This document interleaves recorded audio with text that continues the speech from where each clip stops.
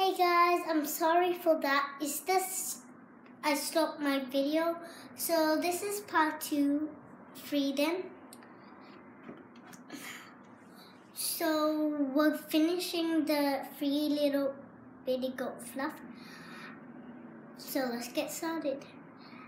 And then the little and the